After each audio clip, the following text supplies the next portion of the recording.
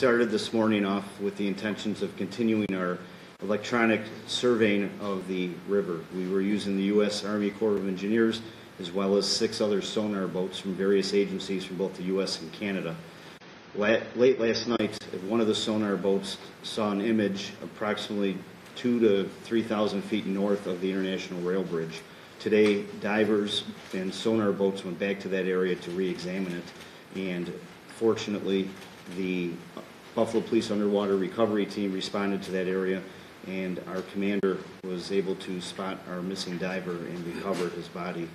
At approximately uh, 2 o'clock in the afternoon, the body was brought here to the foot of Porter Avenue and recovered, and a procession was led from this location to ECMC.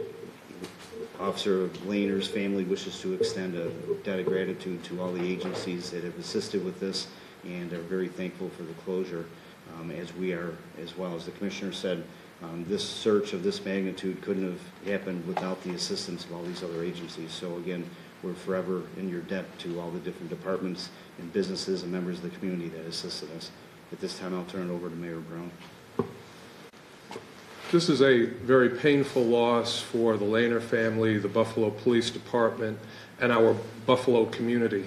We are very thankful that Officer Craig Lehner was recovered today after a diligent search process. I want to just recognize the work of the Buffalo Police Department, in particular, the undercover, the underwater recovery team, who searched relentlessly to bring Officer, to find Officer Lehner and to bring Officer Lehner home.